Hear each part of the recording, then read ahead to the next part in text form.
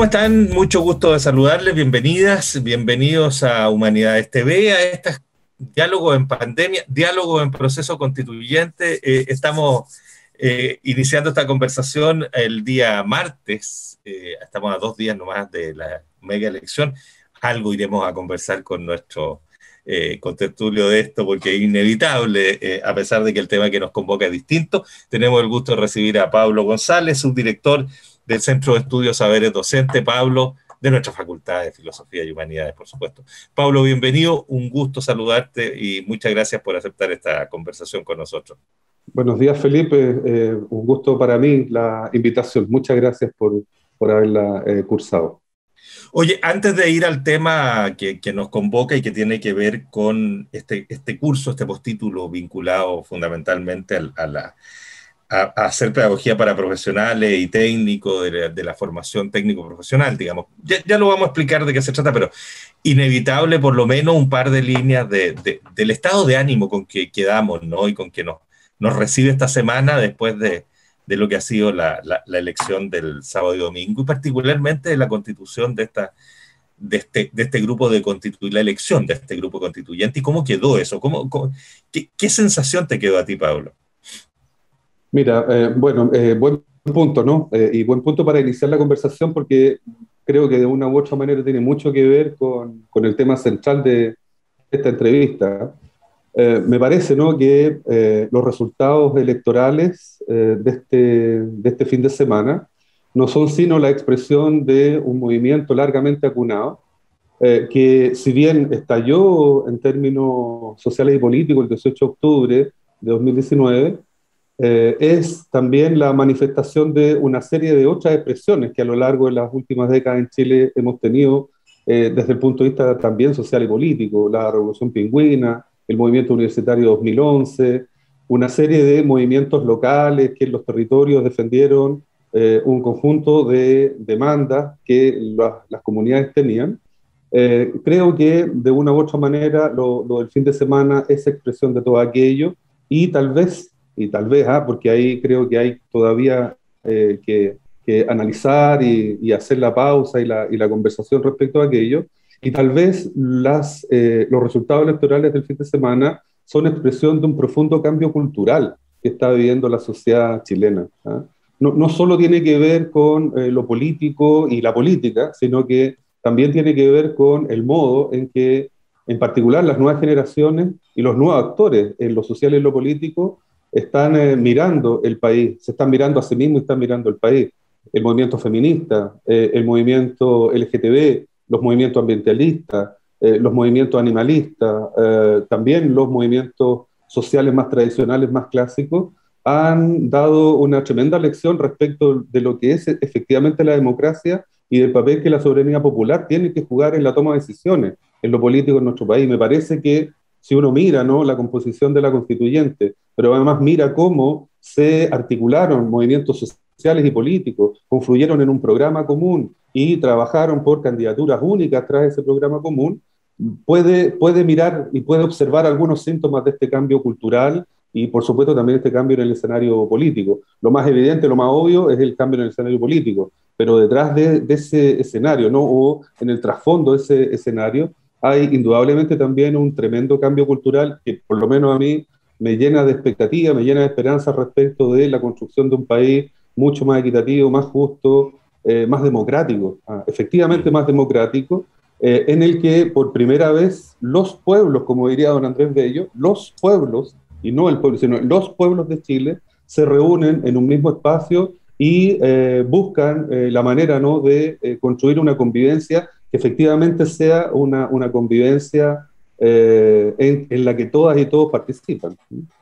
Fíjate que conversamos antes de, de, iniciar la grabación, Pablo, que eh, eh, lo que quedó como convención constitucional, usábamos la palabra, de una, una, suerte de mosaico mucho más parecido a la sociedad real que tenemos, y, y, en eso hay una legitimidad, lo remarcaba Álvaro González, que no, quien está a cargo de la parte técnica, esto que también conversábamos, eso, eh, Álvaro nos decía, eh, la legitimidad del proceso se queda eh, extremadamente afianzada por lo parecido que es, en definitiva, la Convención Constitucional a los pueblos que la convocaron, digamos. Y eso, y eso es muy interesante, de verdad. Aparte de la paridad, aparte de la incorporación de los pueblos originarios, el resultado final parece como que, no sé, si lo hubiéramos tratado de moldear y decir, esto no hubiéramos, hubiéramos querido tener, es bastante parecido a lo que, a lo que finalmente termina ocurriendo. Exactamente, y, esa composición, esa diversidad, ese mosaico del que tú hablas, precisamente eh, permite eh, evidenciar este cambio cultural. Tradicionalmente, eh, quienes tomaban las decisiones políticas y se reunían a discutir de la gran política eran los políticos profesionales, como se les ha llamado en el último tiempo. ¿no? Algunos le, denominan clase política. A mí no me gusta el concepto de clase política porque eh, cada sector político representa una clase, pero eso es otra cosa, ¿ya? Pero, pero los políticos profesionales de los que algunos hablan. Eh, eh, sin embargo, si tú miras esta, composición de, este mosaico la, que representa hoy día la Asamblea Constituyente, primero, es expresión de la diversidad de nuestro país. hay pueblos originarios, a propósito de los pueblos de Chile, y no el pueblo, sino que los pueblos, los pueblos originarios, la representación paritaria ¿no? entre hombres y mujeres, el que se haya asegurado ¿no? esa representación, también es expresión de lo que es Chile. En Chile, la mayoría de la población eh, está compuesta por mujeres, y la fuerza que tienen las mujeres, la fuerza transformadora que tienen las mujeres, indudablemente se va a hacer sentir y se va, a hacer escuchar en la, en la, constituyente. Pero también eh, los independientes, los independientes de uno y otro sector, porque también los independientes, si bien no tienen una militancia política, sí tienen ideas, comprensiones de mundo, visiones de mundo, eh, propuestas que indudablemente los sitúan en alguno, de los de, de lugares de, de, las posiciones políticas, ¿no? Pero en ese lo, sentido, Pablo... Lo, relevante es que se expresa esa diversidad, perdón, y termino con esto, pero también desde el punto de vista de los sectores sociales, de las capas sociales. Hay, eh, eh, hay por supuesto, una parte de la composición de ese mundo más tradicional de, de lo que se ha conocido como la política, ¿ah? de los clubes, de los partidos, etc. Indudablemente eso está ahí y muchos de ellos también representan y son parte de la élite y eso también está, eh, tiene que estar representado, ¿no? Pero también hay otros sectores populares eh, que están representados y eso es muy bueno. Es muy bueno que se encuentre el país real en ese espacio que se supone ha de ser la casa de todos. La, la, constitución en el fondo es el, el, el cobijo, ¿no? que se supone debe proteger a todas y todos los habitantes del país, a, todo, a todas y todos los ciudadanos. Eh, está, están también representados el movimiento LGTB, ¿ah? está representado los ambientalistas, los animalistas, etc. O sea, de verdad que eh, la, la, composición de la, de la constituyente llena de esperanza, ¿no? llena de expectativas a cualquier observador que mira cómo, por fin, el soberano que es un poco lo que conversábamos hace un rato atrás, el soberano se expresa en esa instancia decisiva respecto de la configuración de la, de la, de la nueva constitución. Ahora, ojo, el soberano y la soberanía popular no tienen que ver únicamente con la forma de la democracia, tienen que ver con el fondo de la democracia, porque el soberano y la expresión eh, efectiva de la soberanía popular no solo le da representatividad a aquello que pueda eh, surgir y emerger en términos, en este caso, de constitución o en algún otro caso de gobierno local o nacional, también le da legitimidad. Y esa, ese concepto es un concepto que lamentablemente ha perdido mucha potencia en estos últimos 30 años. Eh, el poder eh, político para ser legítimo ha de ser representativo del soberano. Y aquello eh, está en los orígenes ¿no? de la filosofía política, de la teoría política, de las discusiones propias de, de las primeras constituciones en Occidente. Entonces, en Chile, al parecer, ¿no? la voluntad soberana expresada a través de las votaciones populares al menos se vio eclipsada o relativizada por las decisiones políticas. No, no nos olvidemos, hubo políticos que dijeron públicamente, no estamos obligados a respetar los programas de gobierno que hemos prometido. Eso ocurrió hace muy pocos años. Entonces, ahí, ahí este concepto de la legitimidad del poder político de las decisiones políticas, también creo yo está íntimamente ligada a, aquello que está ocurriendo en Chile. Y finalmente, ¿no? Eh, entre otras cosas, es probable que esta demanda eh, ciudadana, esta demanda popular, también tenga que ver con que eh, las decisiones que se estén tomando en los espacios políticos sean decisiones que representen ¿no? esta voluntad popular y por tanto sean efectivamente legítimas en un régimen democrático. Bueno, eh, vamos a seguir conversando de esto. Hay muchos aristas de, todo y hay, están, están, hay, hay mucha esquina además de la explosión. Fue una verdadera explosión lo del domingo. Piensa en los partidos, las elecciones presidenciales, o, bueno, hoy día mismo se estaban tomando decisiones en ese sentido, pero tú hablas de cambios culturales y fíjate que cuando uno piensa en la educación superior en nuestro país, eh, sorprende ver, y lo digo yo como ignorante hasta, en esta materia. Sorprende ver que, según los datos que, que, ustedes nos entregan, el 40% de la matrícula de tercer y cuarto medio eh, corresponde a educación media técnico profesional. Y, y, ese es un espacio, a propósito de la legitimidad, un poco invisibilizado, un, un, espacio del que se habla poco y al que nos referimos muy poco. Cuando hablamos de educación, más bien tendemos a pensar, y en la educación escolar, a pensar en la educación no técnico profesional, en la educación como tradicional, por decirlo de alguna manera. Y lo que yo entiendo es que desde Saberes Docente hay una preocupación especial por darle a eso visibilidad y por ponerlo hoy día sobre la mesa y tomar decisiones al respecto. Exacto, exacto. Y, tiene mucho que ver con, este proceso de transformación cultural que creemos nosotros está viviendo la sociedad chilena eh, de manera muy afortunada y oportuna en, el último tiempo, no no, no solo desde, desde, el estallido, sino que desde mucho antes. Eh, y, y, efectivamente, ¿no? la, la noción eh, instalada en el sentido común en Chile es que la educación chilena preferentemente es humanista científica eh, en la enseñanza media y que el sistema de educación escolar está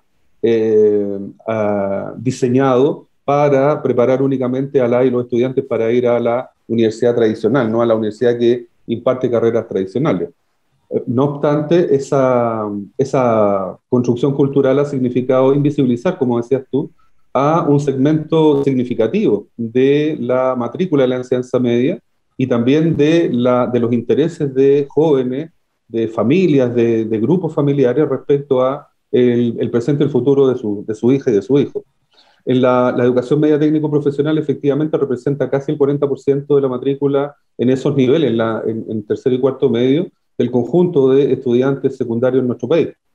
Eh, y eh, a pesar de aquello, no ha tenido eh, la, atención desde la política pública, sino recién, en, yo diría, en la última década. ¿ah? No, no, no ha habido un impulso, más allá de los discursos, no ha habido un impulso decisivo al fortalecimiento, a la profundización, a la ampliación, al enriquecimiento de la educación media técnico profesional, ni tampoco de la educación técnica en el nivel superior. Hay que recordar que recién el Estado de Chile asume la responsabilidad que tiene respecto de, eh, ese, de ese nivel educativo el año 2015, cuando se crea por decreto una serie de, o por ley, una serie de institutos eh, y centros de formación técnica del Estado en las distintas regiones del país. Y, imagínate, esto ha ocurrido recién hace 5 o 6 años atrás. Proceso que está en plena eh, eh, eh, decisión de política pública, perdón, está en plena instalación, en, pleno proceso de instalación. Esos centros de formación técnica están instalando en los distintos territorios del país. A nosotros nos ha tocado dialogar en particular con algunos de ellos. Y aquí, aquí aquella decisión de política pública indudablemente es muy aceptada pero va a dar fruto eh, respecto de su pleno despliegue recién en unos 10 años más, en términos de lo que puedan aportar a el, propio desarrollo de los territorios en los que están emplazados. Y por tanto, si, si tú, si tú te, te, fijas en esa, en esa política pública, indudablemente hay que alegrarse, pero indudablemente también da cuenta de un enorme retraso que tenemos en este ámbito en el, en el, en el escenario educativo nacional. Y ojo con esto, porque probablemente es uno de los factores, no el único, pero es uno de los factores. Eh, a propósito de fenómenos invisibilizados, el sistema escolar en Chile tiene una tremenda deuda con eh, la sociedad. Hay cerca de 5 millones de personas eh, adultas, de chilenos y también residentes ¿no? de, de, de, reciente data, que no tienen los 12 años de escolaridad en nuestro país. 5 millones, Felipe. 5 millones. 5 millones, 5 millones. Y aquello, y de aquello se habla poco.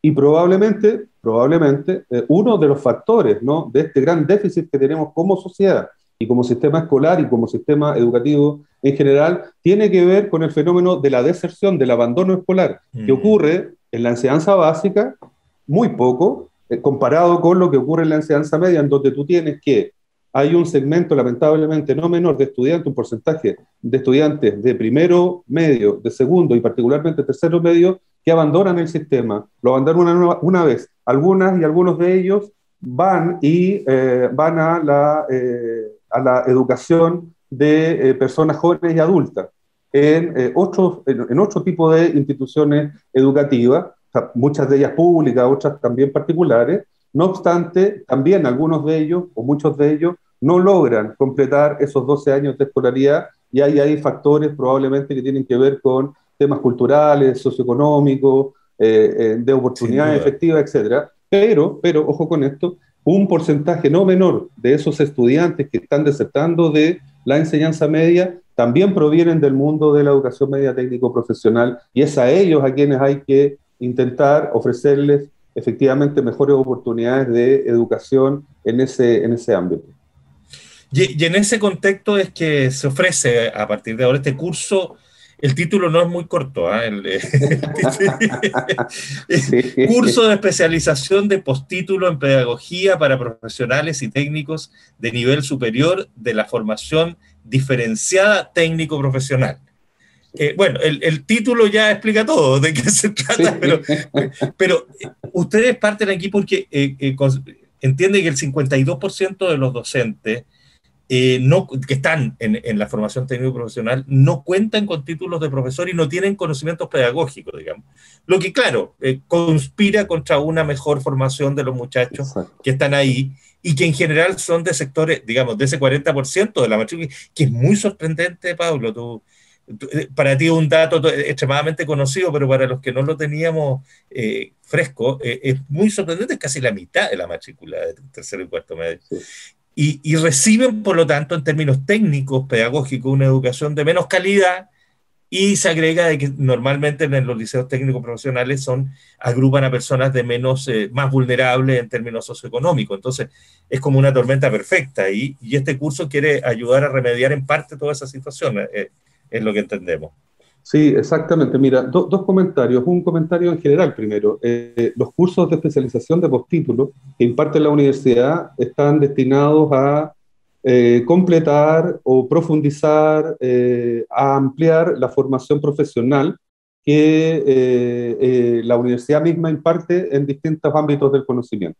Uno de, uno de esos cursos, una, una línea de, estos cursos, es la de los postítulos para profesoras y profesores.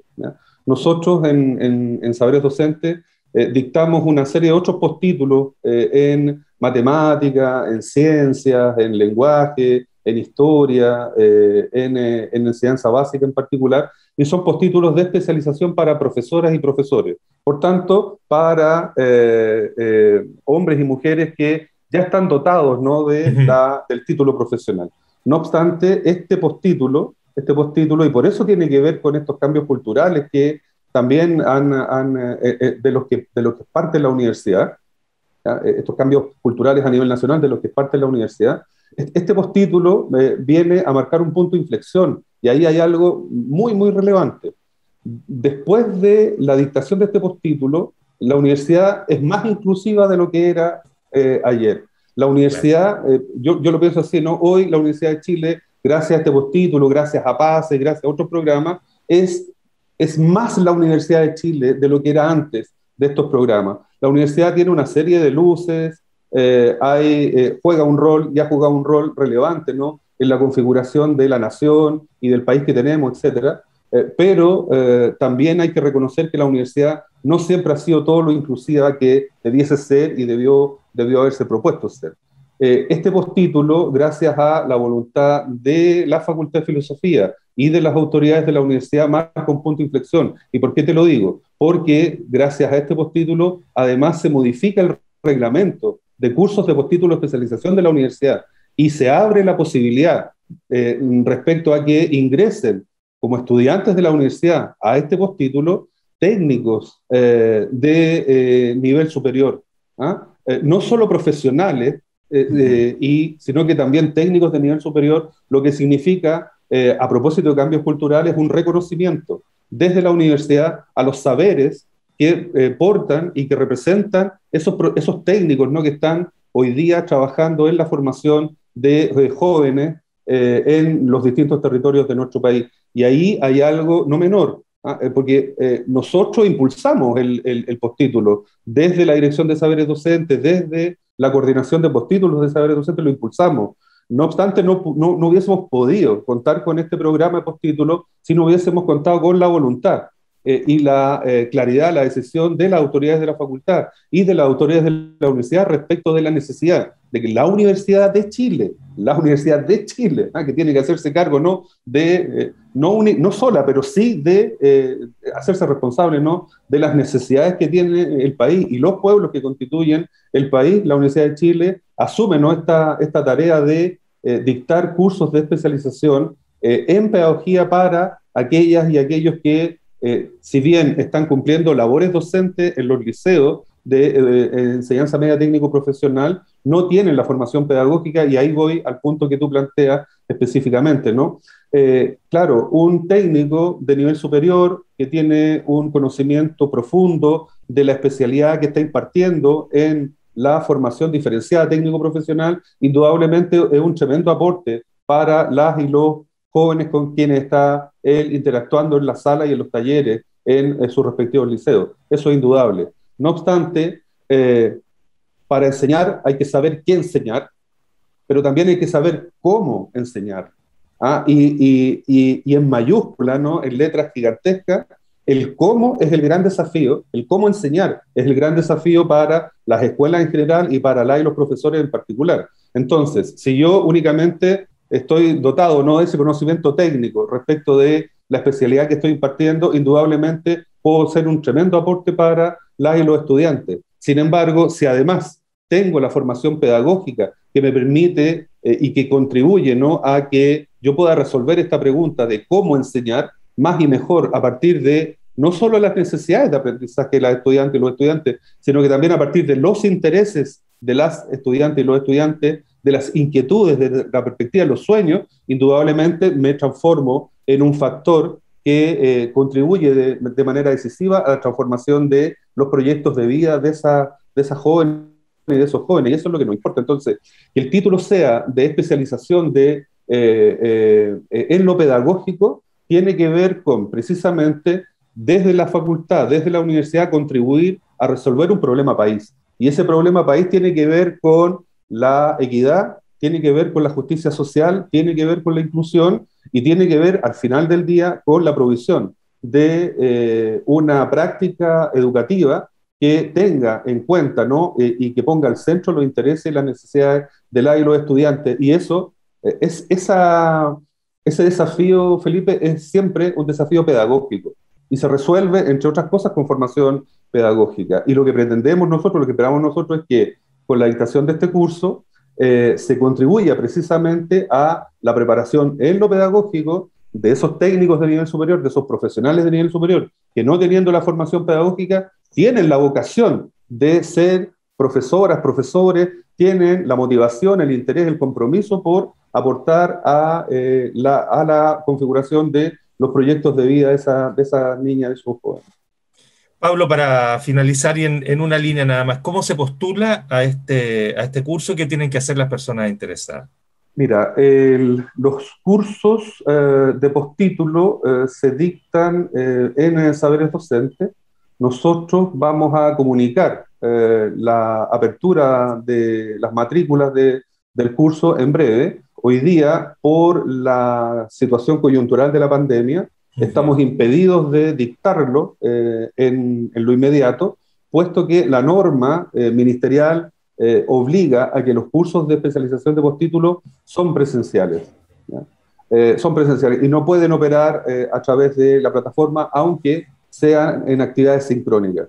Estamos en una conversación con una red de universidades con eh, que tienen eh, las carreras de educación y las facultades de educación, estamos en una conversación con, con, esa red de universidades, de las que la universidad y la facultad son parte, a objeto de generar una, una posición común eh, que nos permita interlocutar con el Ministerio de Educación y con CPIP a objeto de que esa norma se eh, adecue a la realidad actual. Esto es presencial, esto es sincrónico, estamos en tiempo real conversando acá. Bueno, eso ocurre no todos los días en, el pregrado y la, la, propuesta es, bueno, si ocurre en el pregrado y se ocurre en las clases, en la educación escolar, ¿por qué no puede ocurrir en, eh, en las actividades de postítulo? Esperamos que nos vaya bien en esa conversación y en ese escenario eh, vamos a comunicar, eh, apenas tengamos la, la noticia ¿no? y, la, y, la, voluntad del ministerio, en ese escenario vamos a comunicar esto a, a las y los interesados para que a través de la página web de Saber Docente accedan a la información y puedan inscribirse y participar del curso. Pablo González, subdirector del Centro de Estudios Saberes Docentes de nuestra Facultad de Filosofía y Humanidades. Te queremos agradecer eh, la gentileza de esta conversación y, y desearle mucha suerte en este curso, ¿eh? que, que, de verdad, eh, como tú lo dices, es paradigmático, es, una, es un curso que abre un, un, ámbito de inclusión que no estaba y que, y que bienvenido sea. Muchas gracias de nuevo, ¿eh, Pablo, un gusto esta conversación. No, gracias a ti, Felipe, ha sido de verdad un verdadero placer. Y a ustedes que nos han acompañado, un millón de gracias y nos volvemos a reencontrar en eh, Humanidades TV en cualquier momento. Gusto de saludarlos.